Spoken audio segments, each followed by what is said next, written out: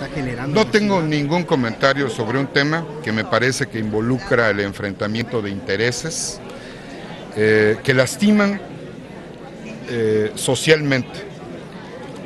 Yo lo que le diría a quienes son promotores de ese tipo de acciones es que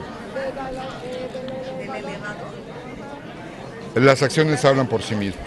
Los campechanos somos muy pocos, siempre lo he dicho, como para que nos enfrentemos.